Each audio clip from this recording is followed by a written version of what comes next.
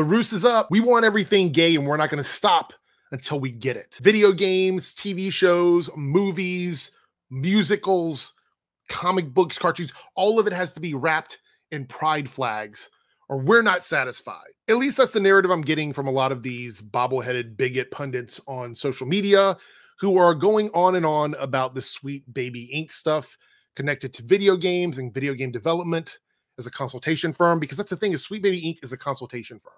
If you haven't heard about this drama over the last couple weeks, there's been sort of this like exposed situation with Sweet Baby Inc., which is kind of weird because their website has existed all of this time. they were not hiding any of the projects they were working on.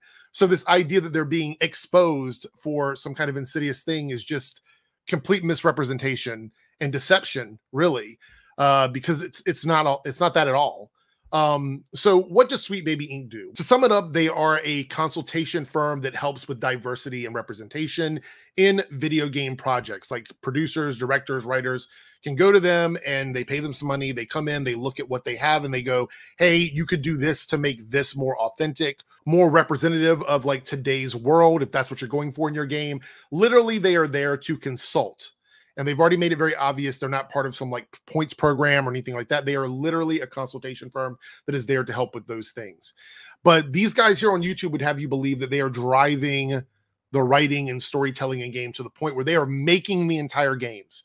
They are writing these entire games with all of this like ideology and stuff in it because they want to turn it into something bigger than what it is. So let's go ahead and debunk that right away. If Sweet Baby Inc. was full of people that were capable of writing games, writing these stories, making these things happen. Why on earth would they be a consultation firm and not a company that makes their own projects? Why would they do that? Why would these studios uh, pay them to do this to come through as a secondary person group of people, secondary party, come in and, and help with these things if they could just pay them to write it from the beginning? Why would they do that? I know there's probably conspiracy theories out there about that, but it doesn't make any sense from a financial standpoint. Why would they pay an extra group of people to do a job that they could just pay them to do it from the beginning?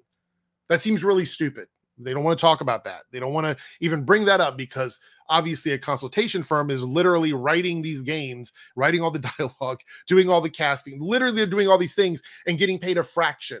So like Sweet Baby Inc is like I'm going to take less money than all of the people working on these projects to come in and not actually be a consultation firm, but be everything on that project that you need to happen, whether it be a writer, director, actor, whatever you need, that's what they do. That's that's what they would have you believe. And then this whole thing with as heel versus babyface and the pronoun rant, like he's people are saying he's justified because he acted like an idiot on camera and screamed and hollered about optional features in a game that takes place 300 years in the future they're saying he's justified because this company that has absolutely nothing to do with Starfield is a diversity consultation firm. So in their mind, somehow it's all justified. There's just there's not a lot of there's so much empty space in their heads that I think sometimes they can't connect all the story. Like everything's so spread apart because there's just nothing filling up the space. Um, the other thing I want to mention is if it were possible because they seem to believe that gay people, marginalized communities, queer people, trans people, that there's this power that we have to take over everything in the world. Looking at the way things go, if you like, if you were looking at this logically, and they're not, but if you were, and there was like some magic wand, some fairy wand that I could use to make everything better, like I don't know, make it so these channels don't harass gay people all the time, that would be a start.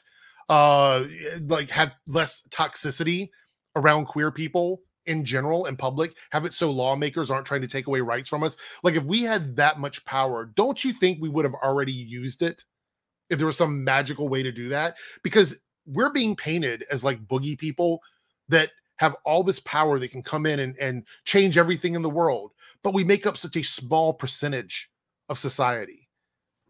And it's like at a certain point you have to understand that it's a ridiculous idea that the gay card carrying people in the world, the trans card carrying people or queer people in the world, whatever, however you want to say it, that we have this ability to make things better for us, but we just choose not to do it. We choose to do it in the hardest way possible.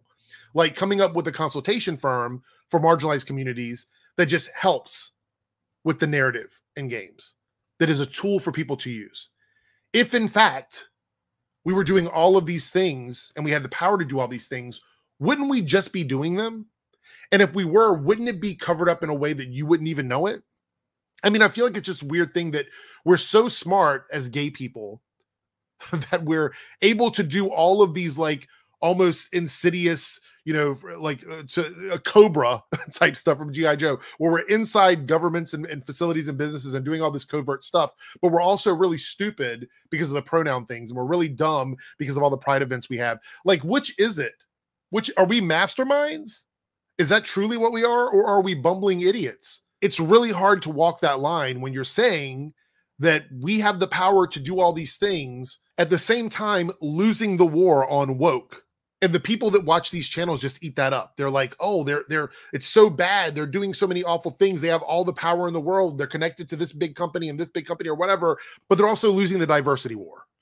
So controls everything makes everything awful but also losing at the same time. You see what i'm saying? Like do you understand? Something up here is not working and the people that watch this content that buy into this all the conspiracy theory whatever i mean i've seen it in real time we watch videos where people go to like a lot of these trump rallies and they believe that Trump is still president, but also Obama is controlling Biden, who is making all the decisions, even though Trump is still president. And somehow in their minds, all of that conflicting information just works. So it doesn't really surprise me that a lot of the people in this space aren't capable of sitting back and going, these all of these things cannot be possible at the same time. They can't exist in the same narrative. But these guys, they keep you move so quick, so fast with them, the way they jump from one subject to the next, that you almost don't have time to think about. It. If you're lost in the sauce, if you were lost in the sauce of this and you're caught up in it, it's going to be so fast. You're probably not. It's like whiplash. Do you remember some of the other stuff they've complained about over the years? Uh, in the last year, probably, maybe a little bit more, that have been brought up as problems and there's no solution to it. You remember CRT? That just kind of went away. Nobody cared about that. Uh, drag story hours was was there ever a resolution to that? What about Target? The swimsuits, the t-shirts, all of that. Did that go away, or can you go on Target right now and buy that stuff? Spoiler alert, you can go buy it right now. So all of these battles they're fighting they're made up battles. And I keep having to say this because I feel like a lot of you guys out there who are finding me for the first time may not have seen me talk about this before. There's a lot of you people out there that hate watch me.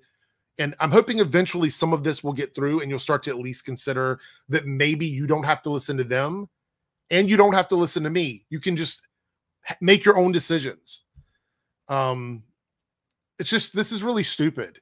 It's really, really stupid. They're riding the grift on this. It's getting a lot of numbers. It's getting a lot of views right now because this community is primed and ready for the next conspiracy theory.